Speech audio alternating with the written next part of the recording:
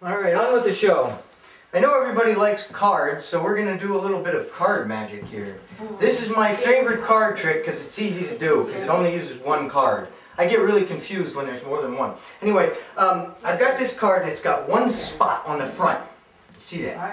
One spot. And on the, on the second side here, it's got four. four spots. And here on the third side, it's got three spots. And here on the fourth side, it's got six spots. What is the shoes? You all look pretty confused. I'm going to show you again. There's one spot on the first side, four spots on the second side, three spots on the third side, and six on the fourth side.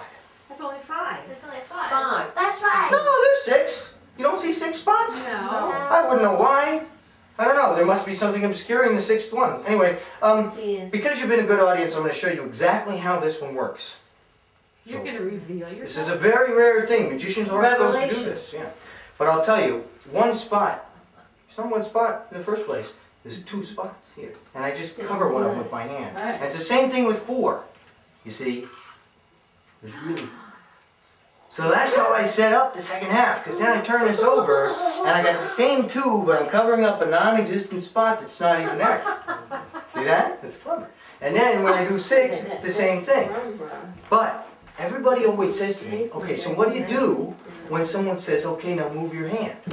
And one answer is, okay, well, you just act like your hand's not there. But you can always just move your hand and show them the six. That's, that's the other option. Same thing with three. You just show them that there really are three. Of course, if there's three spots on this side, can anyone tell me how many spots are on this side?